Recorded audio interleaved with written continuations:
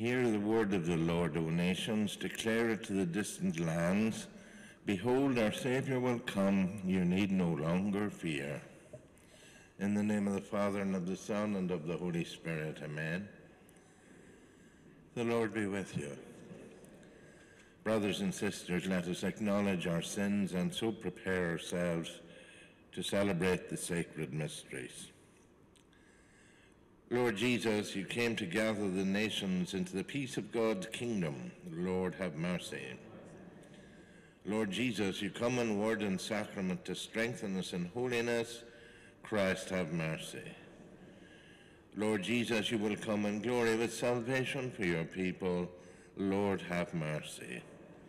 May Almighty God have mercy on us forgive us our sins and bring us to everlasting life. Let us pray.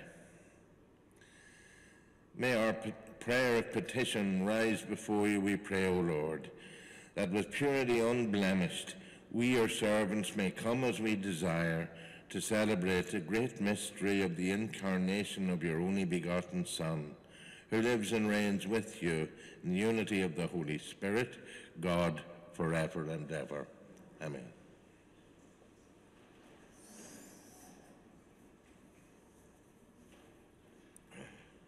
Reading from the prophet Isaiah.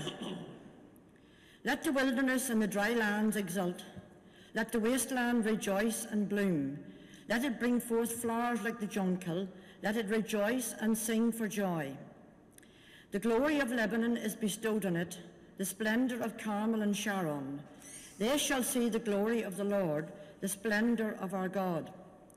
Strengthen all weary hands, steady all trembling knees, and say to all faint hearts, Courage, do not be afraid. Look, your God is coming, vengeance is coming, the retribution of God, he is coming to save you. Then the eyes of the blind shall be opened, the ears of the deaf unsealed.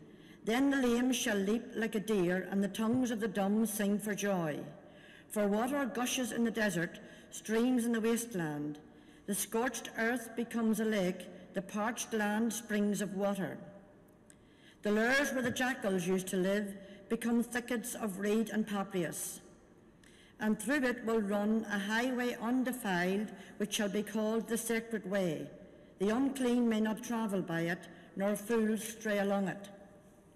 No lion will be there, nor any fierce beast roam about it but the redeemed will walk there, for those the Lord has ransomed shall return.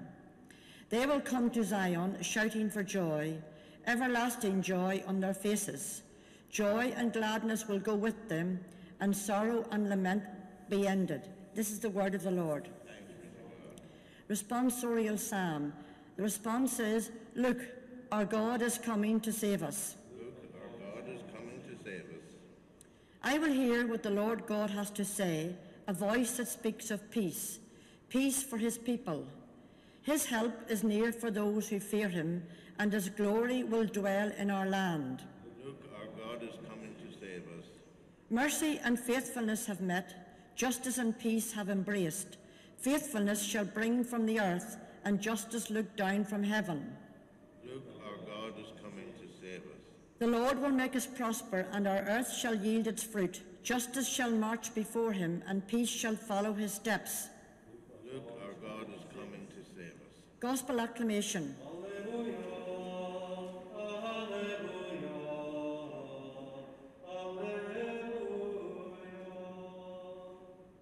Prepare a way for the Lord, make his path straight, and all mankind shall see the salvation of God.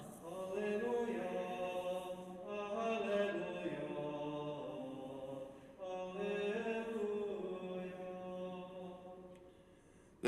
be with you. A reading from the Holy Gospel according to Luke. Now Jesus was teaching one day, and among the audience there were Pharisees and doctors of the law who had come from every village in Galilee, from Judea and from Jerusalem. And the power of the Lord was behind his works of healing. Then some men appeared carrying on a bed a paralyzed man whom they were trying to bring in and lay down in front of him. But as the crowd made it impossible to find a way of getting him in, they went up onto the flat roof and lowered him on a stretcher down through the tiles into the middle of the gathering in front of Jesus. Seeing their faith, he said, My friend, your sins are forgiven you. The scribes and the Pharisees began to think this over. Who is this man talking blasphemy? Who can forgive sins but God alone? But Jesus, aware of their thoughts, made them this reply. What are these thoughts you have in your hearts? Which of this is easier, to say your sins are forgiven you, or to say get up and walk? But to prove to you that the Son of Man has authority on earth to forgive sins, he said to the paralyzed man, I order you, get up and pick up your stretcher and go home.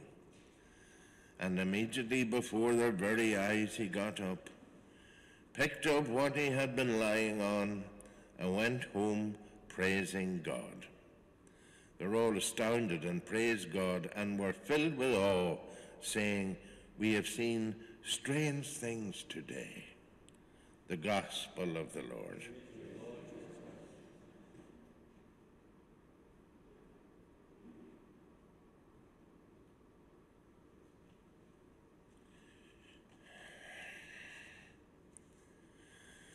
The Lord brings everlasting joy to his people. Let us pray to him with confidence, knowing that all we have comes from him. For the holy people of God, that we may follow more closely in the footsteps of the Lord. Lord, hear us. For those whose hearts are paralyzed by evil, and for those who use their authority to do injustice, let us ask for the grace of conversion. Lord, hear us. For the gifts of compassion and friendship, let us pray that we may be grateful in the receiving and generous in the giving. Lord, hear us. We pray for all our own intentions.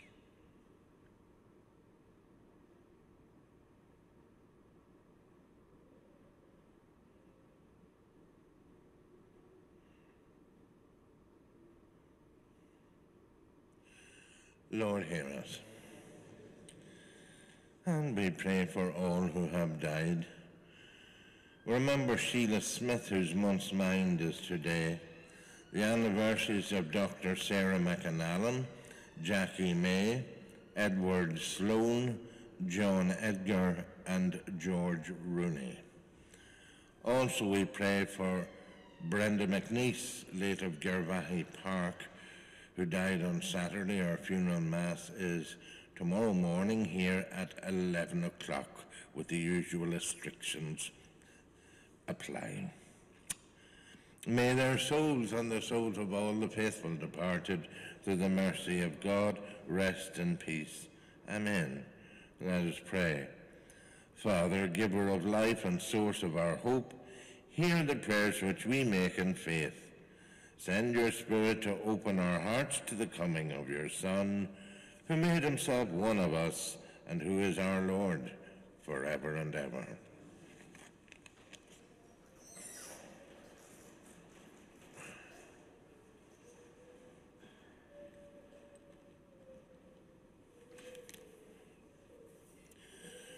Blessed are you, Lord God of all creation. For through your goodness we have received the bread we offer you. Fruit of the earth and work of human hands, it will become for us the bread of life.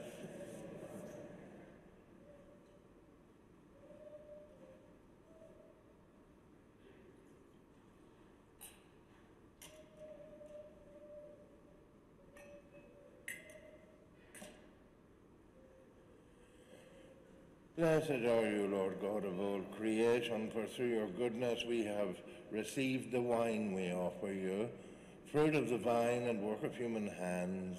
It will become our spiritual drink.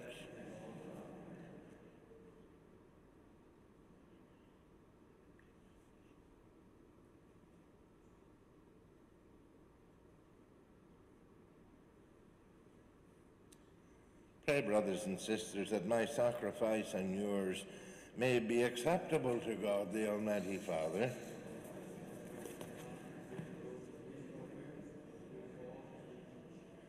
Accept, we pray, O Lord, these offerings we make, gathered from among your gifts to us. And may what you grant us to celebrate devoutly here below gain for us the prize of eternal redemption through Christ our Lord. The Lord be with you. Lift up your hearts. Let us give thanks to the Lord our God. It is truly right and just our duty and our salvation, always and everywhere to give you thanks, Lord, Holy Father, Almighty and eternal God, through Christ our Lord. For he assumed at his first coming the lowliness of human flesh, and so fulfilled the design you formed long ago, and opened for us the way to eternal salvation, that when he comes again in glory and majesty, and all is at last made manifest, we who watch for that day may inherit the great promise in which now we dare to hope. And so with angels and archangels, with thrones and dominions, with all the hosts and powers of heaven, we sing the hymn of your glory, as without end we acclaim. Holy, holy, the holy, Lord God of hosts, heaven and earth are full of your glory. Hosanna in the highest. Blessed is he who comes in the name of the Lord. Hosanna in the highest. You're indeed holy, O Lord, the fount of all holiness.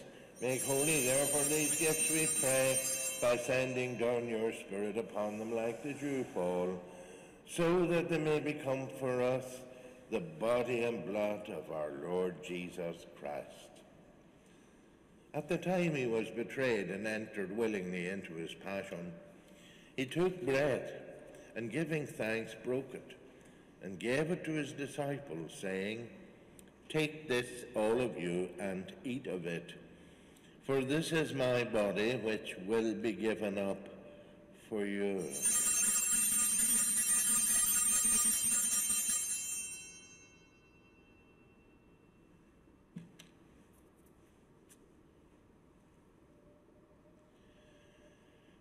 In a similar way, when supper was ended, he took the chalice, and once more giving thanks, he gave it to his disciples, saying, Take this, all of you, and drink from it, for this is the chalice of my blood, the blood of the new and eternal covenant, which will be poured out for you and for many for the forgiveness of sins. Do this in memory of me.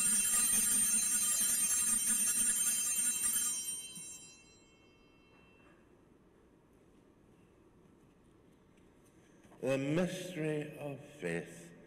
Save us, Saviour of the world, for by your cross and resurrection you have set us free. Therefore, as we celebrate the memorial of his death and resurrection, we offer you, Lord, the bread of life and the chalice of salvation, giving thanks that you have held us worthy to be in your presence and minister to you. Humbly we pray that partaking of the body and blood of Christ, we may be gathered into one by the Holy Spirit. Remember, Lord, your church spread throughout the world, and bring her to the fullness of charity, together with Francis our Pope, and Eamon our Bishop, his assistant Bishop Michael, and all the clergy. Remember also our brothers and sisters who have fallen asleep in the hope of the resurrection, and all who have died in your mercy. Welcome them into the light of your face. Have mercy on us all, we pray, that with the Blessed Virgin Mary, Mother of God, with Joseph, our venerable spouse, with the blessed apostles and all the saints who have pleased you throughout the ages, we may merit to be co-heirs to eternal life, and may praise and glorify you through your Son, Jesus Christ through him and with him and in him, O God Almighty Father, in the unity of the Holy Spirit, all glory and honor is yours forever and ever. Amen. At the Saviour's command, informed by divine teaching, we dare to say, Our Father who art in heaven, hallowed be thy name. Thy kingdom come, thy will be done on earth as it is in heaven. Give us this day our daily bread, and forgive us our trespasses, as we forgive those who trespass against us. And lead us not into temptation, but deliver us from evil. Deliver us, Lord, we pray, from every evil. Graciously grant peace in our days, that by the help of your mercy we may be always free from sin and safe from all distress, as we await the blessed hope and the coming of our Saviour, Jesus Christ. according to your years now and forever. Lord Jesus Christ, who said to your apostles, Peace I leave you, my peace I give you. Look not on our sins, but on the faith of your church, and graciously grant her peace and unity in accordance with your will, who live and reign forever and ever. The peace of the Lord be with you always. Lamb of God. Lamb of God, take away the sins of the world, grant us peace.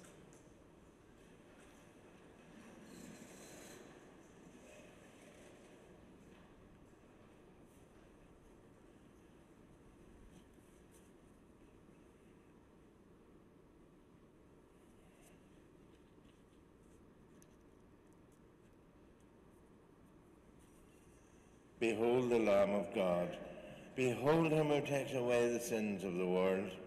Blessed are those called to the supper of the Lamb. Lord, I am not worthy that you should enter under my roof, but only say the word, and my soul shall be healed.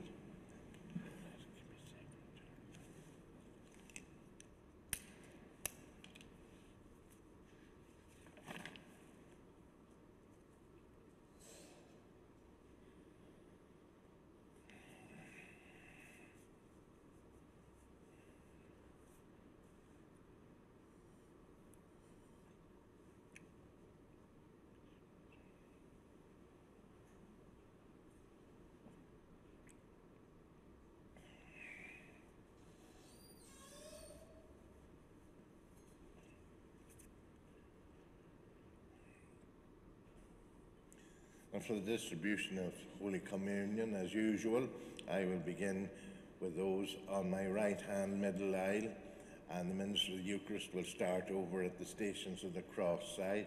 And when he is finished there, I will then distribute those on my left hand middle aisle while the minister moves over to the choir side.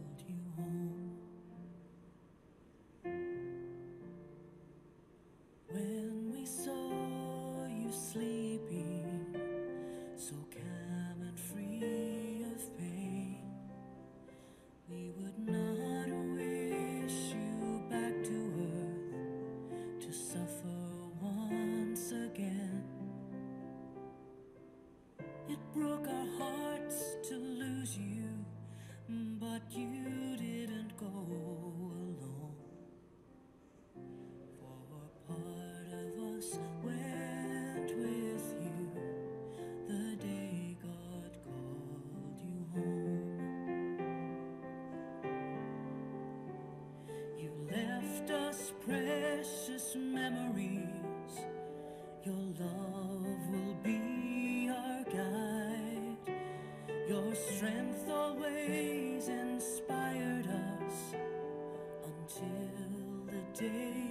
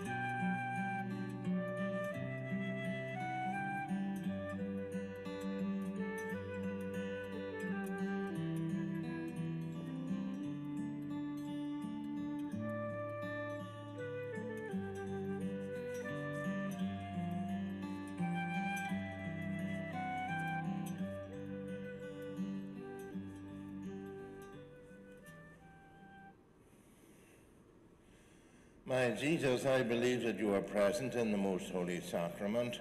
I love you above all things, and I desire to receive you into my soul. Since I cannot at this moment receive you sacramentally, come at least spiritually into my heart.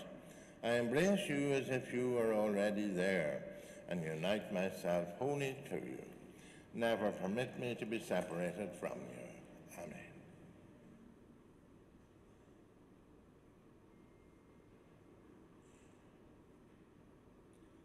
Let us pray. May these mysteries, O Lord, in which we have participated, profit us, we pray, for even now as we walk amid passing things, you teach us by them to love the things of heaven and hold fast to what endures, through Christ our Lord. The Lord be with you. And may Almighty God bless you, the Father and the Son and the Holy Spirit. Amen. Go in peace and stay safe.